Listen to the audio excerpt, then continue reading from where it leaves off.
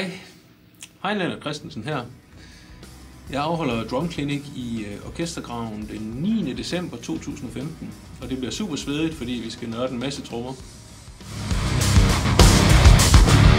Vi skal se på nogle fede grooves.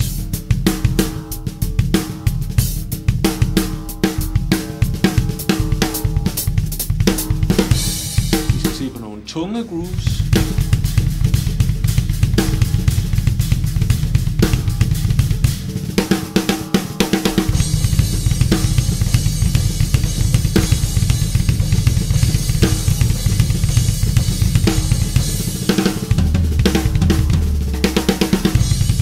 Se på nogle skæve grooves.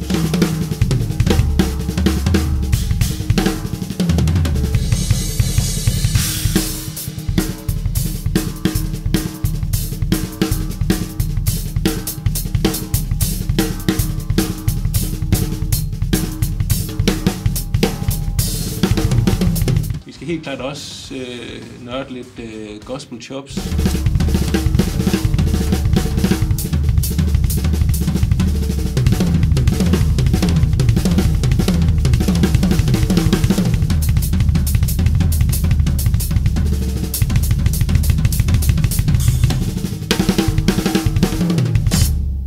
Skal se på en masse af de gode gamle fusion chops.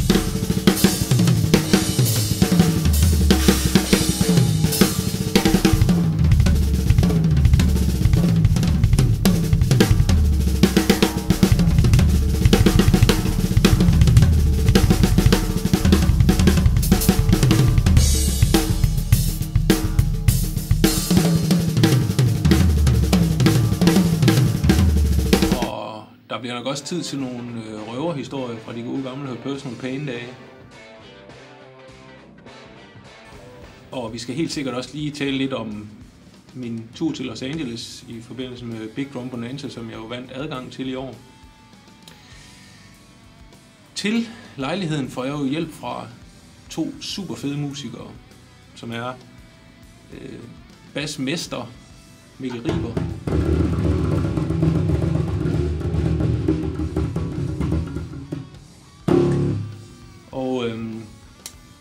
guitar uhyret Anders Høgh.